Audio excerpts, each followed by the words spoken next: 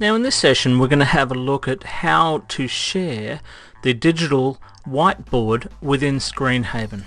So let me launch Screenhaven here and we want to go into the publish window and under the share menu you now have the option here to share uh, not only things like the whole screen but further down here we have the whiteboard.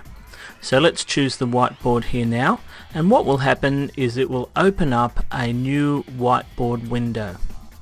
The idea here is, that everything in this window will now be shared up to the cloud so that other people can see what's happening on there. So you can see that uh, at the moment uh, th this window is open. It's not resizable, it's a fixed size and what is displayed on this window is now appearing uh, in this uh, preview window here.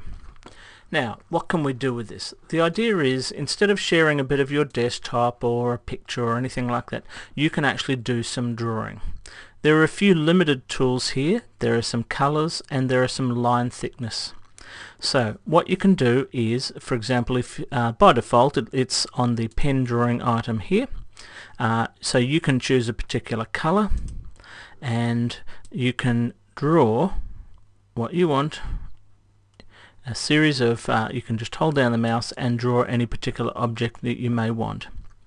Uh, that is drawing a, a series of uh, like fine dots uh, that, that that would come out of a normal pen. So you can draw the dots as you would need. Uh, further up we have this object here which lets you do a thicker dot so let me choose a different color here so you may well choose to uh, draw lines together with that item.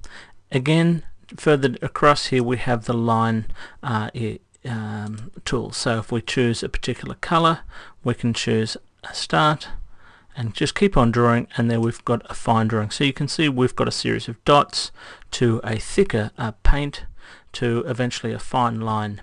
Now each of these tools can be adjusted not only with the colors but always also with the line thicknesses. So if we choose a thicker line here, uh, any object that we draw will now be thicker as well. So you can see the, the, the dot's a bit thicker. Let me come here and draw the, the line there. It's a bit more obvious with the paintbrush uh, how much thicker it is. Again, if we drew with a line, uh, we'd see that that is actually a thicker line than the, than the previous line. Uh, in addition to these particular lines, uh, we also have uh, a few more tools. We have this one which is for drawing squares or rectangles. Now one difference with this one is that uh, you don't actually see it as it's drawing. So when you click and uh, draw out, it doesn't appear, but when you let go of the mouse, that's when the square or rectangle is going to appear. And again, the thickness is in proportion to the line here. So if I go and draw another one down here, there we go, you can see it's, it's a finer line. Now after a while this can get a bit uh, messy uh, so there are uh, two things that uh, uh, that are left over. Now the um, it doesn't use the uh, text tool that may come in a later version but it's not there at the moment. The other two which are relevant is the paint tool which will set a background color.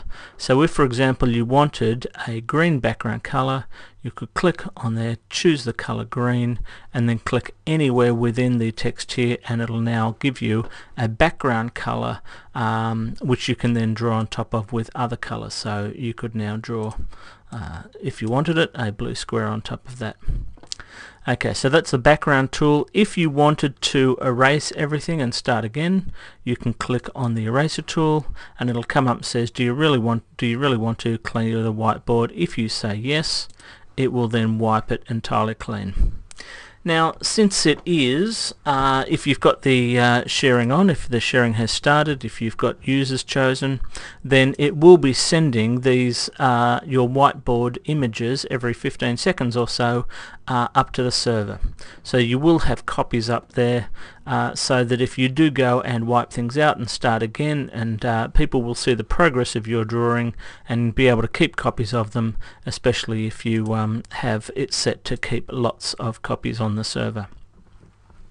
Okay, um, to remove the whiteboard what we need to do is come along and choose another item. So if we come back to whole screen as opposed to whiteboard then the whiteboard will automatically disappear. In fact any of them if you choose anything other than whiteboard the whiteboard will automatically close down. So that's how we use the digital whiteboard um, using uh, Screenhaven to, uh, to put whatever we draw on the whiteboard up onto the cloud for others to view. I hope you find that useful. Thank you and goodbye.